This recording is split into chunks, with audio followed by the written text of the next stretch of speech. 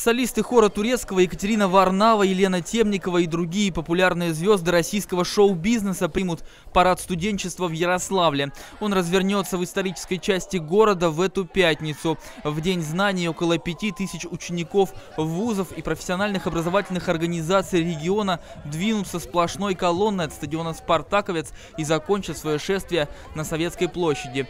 Там гостей праздника встретят Екатерина Варнава и Никита Дювбанов. Приглашенные ведущие Ведущие поздравят молодежь со вступлением в студенческую жизнь и проведут посвящение в первокурсники. Затем гости вечера увидят концерт с участием певцов отечественной эстрады Елены Темниковой, Доминика Джокера и солистов хора турецкого. Вход свободный, но, естественно, мы рассчитываем на то, что ярославцы настроены на этот праздник, и у нас будет, будут соблюдаться и порядок, и все мы получим удовольствие от прекрасной культурной программы.